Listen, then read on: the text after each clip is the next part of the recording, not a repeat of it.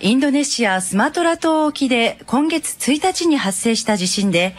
被災者の捜索活動に携わっていた警視庁の隊員たちが、現地での活動を終え、今日帰国しました。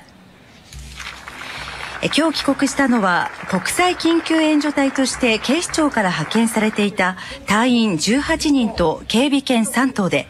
米村敏郎警視総監に帰国の報告をしました隊員たちは今月1日に日本を出発しおよそ1週間にわたってパダン市で捜索活動を行っていました。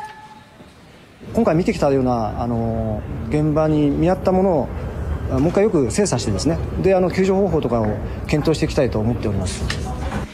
今回は建物の倒壊が激しい割には逃げ遅れた人が少なかったことがこれまで活動した現場との違いだったということでこの経験を今後生かしたいと話していました。